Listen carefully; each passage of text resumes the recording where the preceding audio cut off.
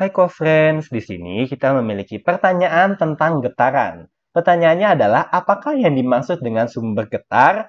Ya, bagaimana cara menjawabnya? Di sini ya sumber artinya penghasilnya apa, dan getar itu artinya getaran. Artinya kakak bisa tuliskan di sini secara pengertian, sumber getar itu adalah sumber suatu gerak bolak-balik melalui titik kesetimbangan. Karena definisi dari getaran kan gerakan bolak-balik melalui titik kesetimbangan. Nah, sumbernya tuh apa gitu? Sumber itu adalah penyebabnya atau penghasilnya tuh apa gitu ya. Siapakah yang menghasilkan getaran tersebut? Nah, jadi sumber getar adalah sumber satu gerak bolak-balik melalui titik keseimbangan. Dan contoh dari sumber getar itu apa? Contohnya dawai gitar. Dawai gitar itu ketika kita petik, maka dawainya akan bergetaran. Nah, karena dawainya bergetar, otomatis kita bisa anggap dia sebagai sumber getar.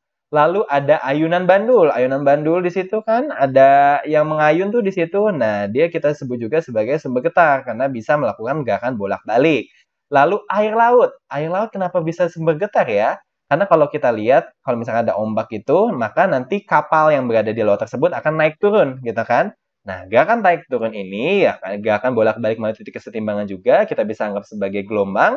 Karena gelombang merupakan getaran, maka air laut juga kita bisa anggap sebagai sumber getar dan lain-lain. Masih banyak lagi. Misalkan udara. Misalkan di alat musik seruling. Nah, gitu-gitu kan. Kalau klarinet, kalau kita tiup, kenapa dia bisa menimbulkan bunyi? Karena ada getaran di situ. Apakah yang menghasilkan getaran di situ? Yaitu udara. Karena udaranya bergetar. Maka udara juga merupakan sumber getar. Dan masih banyak lagi.